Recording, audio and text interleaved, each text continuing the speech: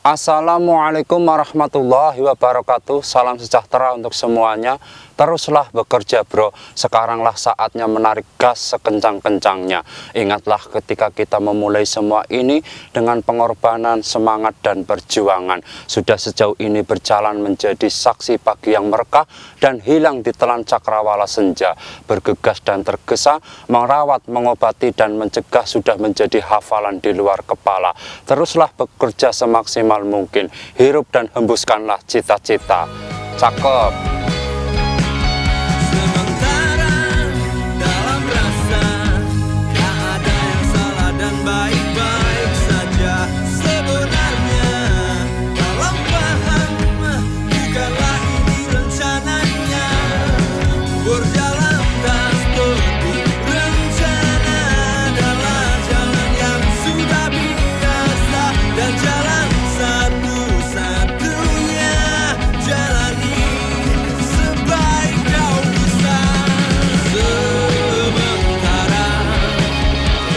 Ketika kita terus bekerja dengan sebaik-baiknya, maka Tuhan akan membimbing kita dengan cara yang tidak pernah kita sadari mengiringi usahamu dan mengobati lelahmu dengan merubah kondisi perkembangan tanaman.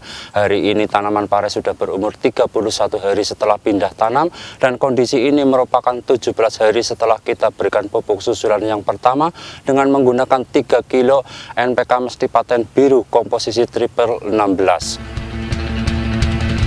tetap melaju kencang Di rute yang tak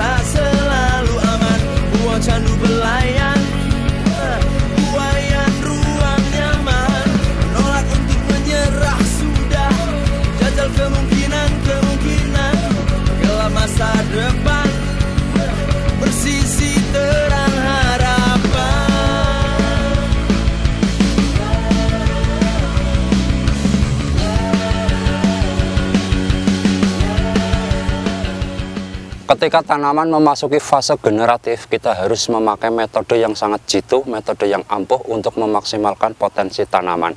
Dan hari ini kita akan mengedukasi pemberian pupuk susulan yang kedua dengan meninggikan unsur kalium untuk memaksimalkan proses pembungaan dan pembuahan. Teman-teman bisa memilih pupuk NPK yang mempunyai kandungan kalium tinggi. Misalnya NPK mesti paten hijau yang mempunyai kandungan kalium 20%. Atau dengan pupuk majemuk, misalnya NPK mesti paten biru komposisi triple 16 ditambah dengan mesti kali butir yang mempunyai kandungan kalium 30% uh, kemudian magnesium 12,5% dan sulfur 10% jadi akan semakin komplit untuk memaksimalkan potensi tanaman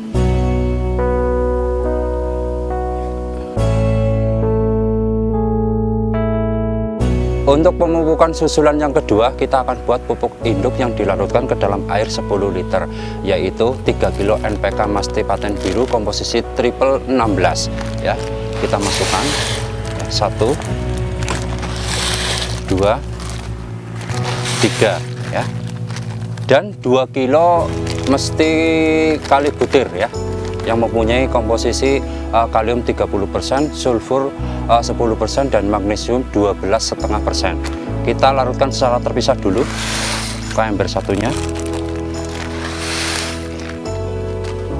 Kemudian kita aduk dulu, Bro.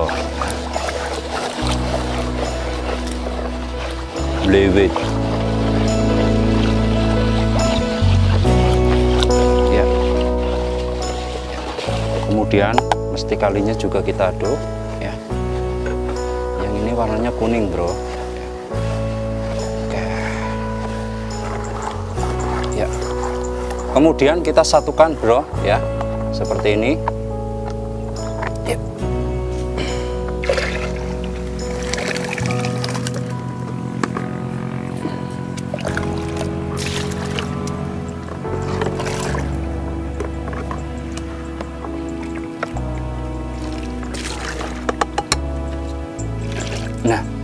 kita aduk lagi ya sampai hancur sempurna. Kemudian untuk alat pemupukan ini kapasitas 20 liter kita pakai 5 gelas bro.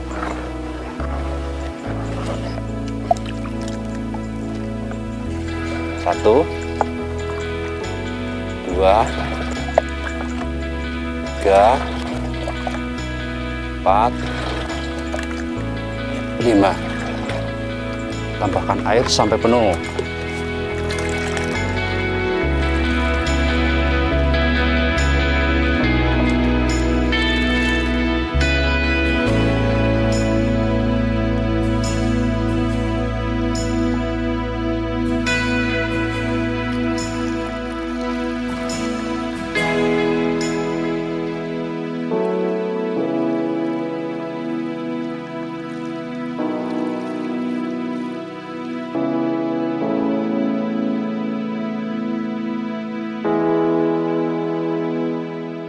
Bismillahirrahmanirrahim.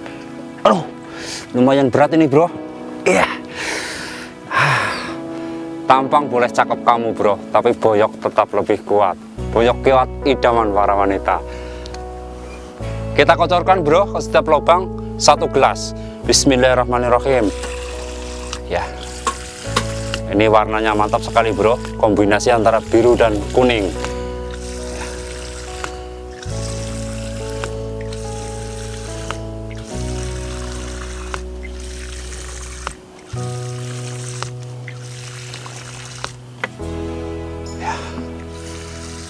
Sekalian ini untuk menjawab komentar. Kemarin ada yang komentar bro kalau pemupukan susulan dilakukan di siang hari gimana bro? Nggak apa-apa hari ini saya melakukan pemupukan susulan. Yang kedua jam 11 siang.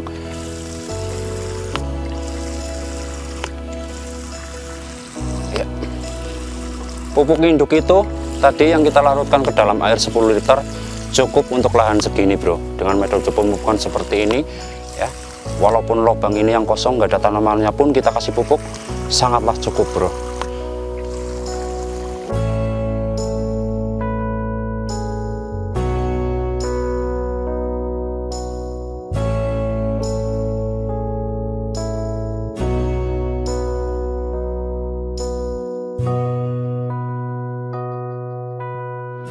Kemudian untuk pemberian vitaminnya kita ganti Mestisol P yang mempunyai komposisi uh, N15, P30 dan K15. Cara mudah pemakaiannya adalah satu bungkus yaitu 100 gram kita larutkan ke dalam air uh, 3 gelas. Satu, dua, tiga.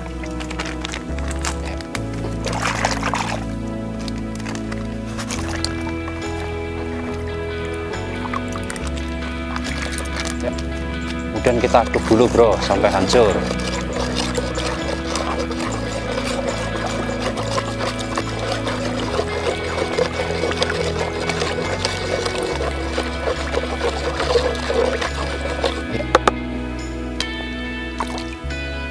Kita ambil satu gelas untuk pertangkinya bro. Set. Ya. Kemudian sisanya kita masukin ke botol untuk nanti lagi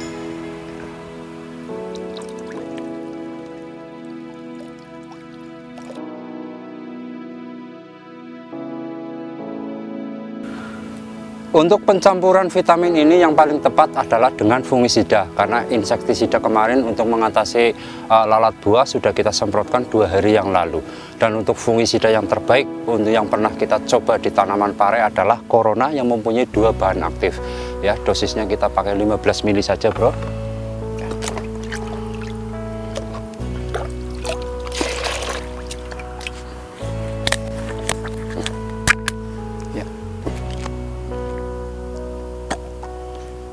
kemasan 100 ml bro ya tutup ini 33 jadi setengahnya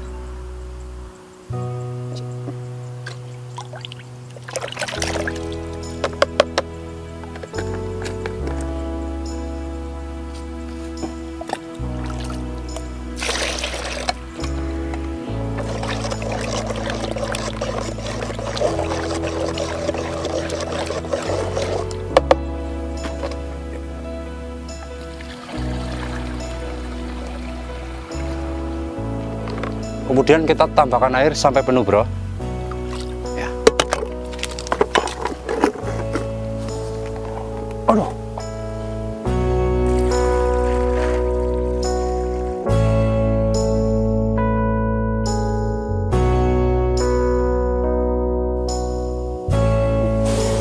Ya. Penyemprotan bolak-balik biar atas dan bawah daun terkena.